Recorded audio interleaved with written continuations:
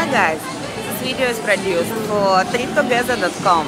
It's the best site for people who travel all over the world and searching for companionship.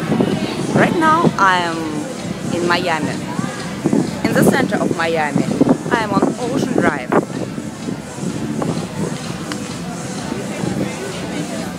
From the one side of the street is the sea. On the other side, and plenty of hotels is located. Ocean Drive is a world-famous heart of Miami. As you probably know, Miami is located not far from Caribbean. So Caribbean music and Caribbean rhythms are all over the street.